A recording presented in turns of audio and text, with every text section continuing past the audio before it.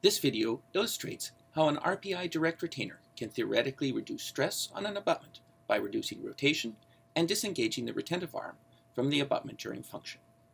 In this diagram, the red target represents the center of rotation of the RPD during function.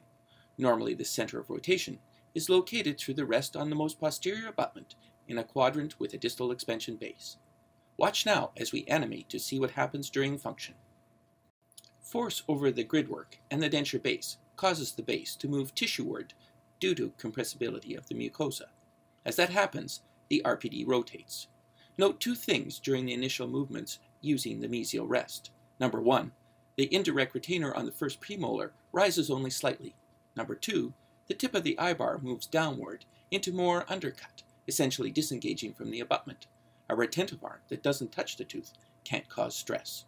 In the second rotation, we move the target point distally to where it would be located if a distal rest were used. Note how much higher the indirect retainer moves. It actually moves above the marginal ridge on the first premolar in this animation. Note also that the tip of the I-bar moves upward, engaging the tooth and placing force on it. Mesial rests on distal extension cases reduce stress by both reducing the amount of rotation that occurs and allowing the infrabulge arm to disengage from the abutment.